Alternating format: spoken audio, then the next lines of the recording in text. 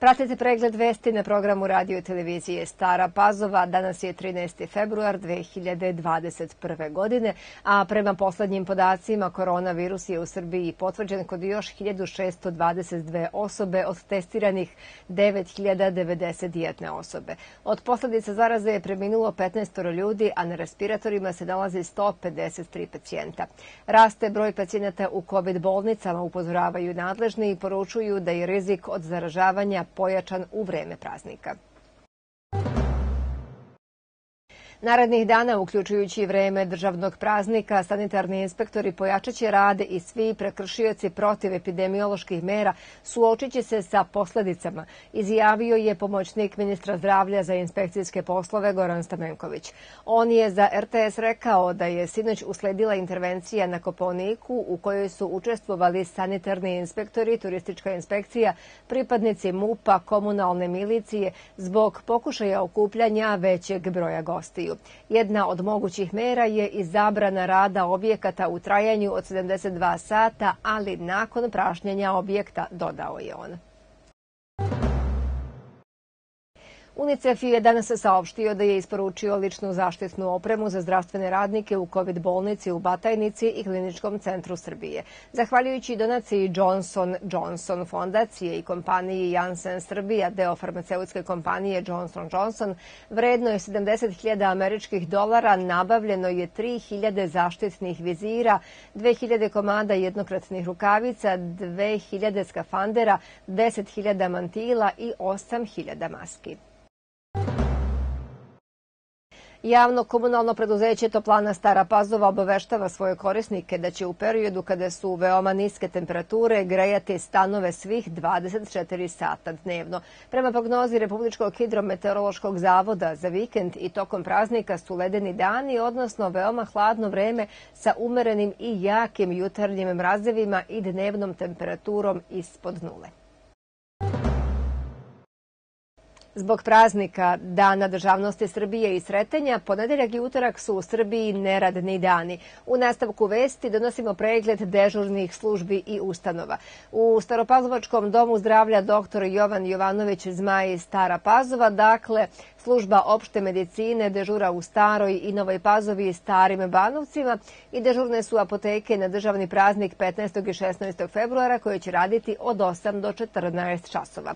Pedijatrija u Staroj Pazovi će raditi od 8 do 14, a COVID ambulanta u Staroj Pazovi od 7 do 13 časova.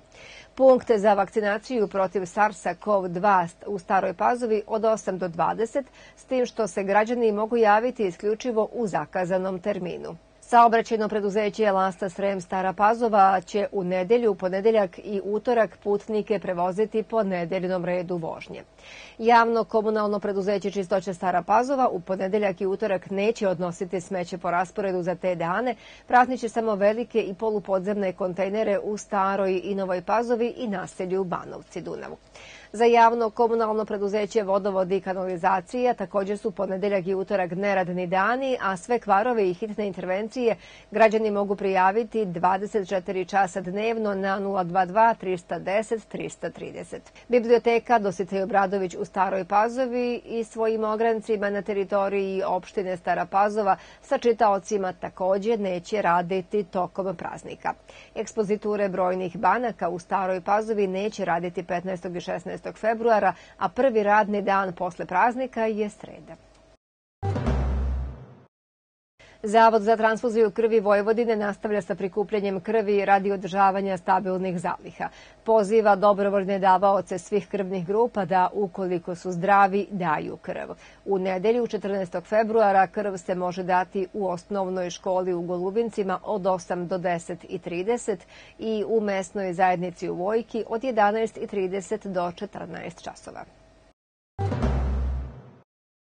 U nedelju će u Golubincima biti održano poklazno jahanje. Uz učešće samo nekoliko konjanika i malobrojne maskirane učesnike ovog događaja, koji je deo tradicionalnih golubinačkih mačkara, a koje inače okupe mnogobrojne učesnike i za koje živi celo selo.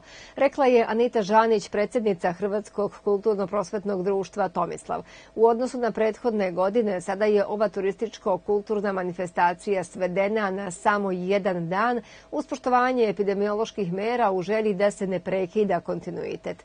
Pokladno jahanje će biti organizovano po jubilarni deseti put, a konjanici kreću ispred dvorca Šlos u 12 časova. Obići će kuće nekoliko domaćina kako bi se još malo proveselili pred uskršnji post.